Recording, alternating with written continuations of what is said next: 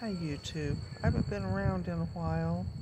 Well, I've been around, but I haven't been on YouTube in a while. Excuse my appearance. it's been hot and windy today. I am still down in South Texas on the border. And I got um, me a little travel trailer. Still have my van and it took me over three years to finally find a mechanic that could do some work for me on it.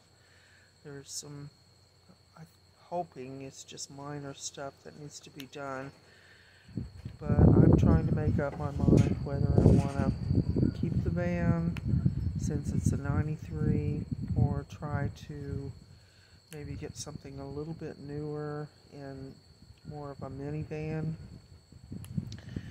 and that way I could uh, maybe do some traveling. But first, I have to.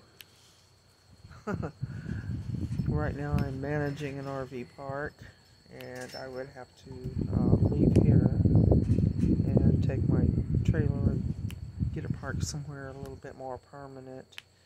But that's just things that I'm thinking about, and I'm really missing being out camping and meeting people. Uh, I'm not one to stay in one place. Never have been my whole life.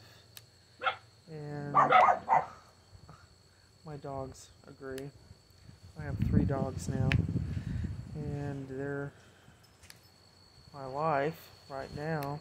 But uh, I'd like to get someplace where I can do some camping, where there's more opportunities to camp and stuff, but I just wanted to check in, let you know that I am still around, and that hopefully in the next few months I can be in either this van totally repaired or in a, into a minivan and a place to, to park my little RV.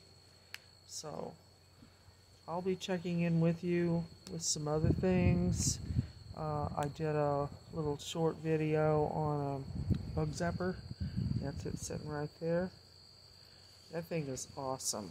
I mean, I've been sitting out here for over an hour and have not been harassed by any bugs or mosquitoes.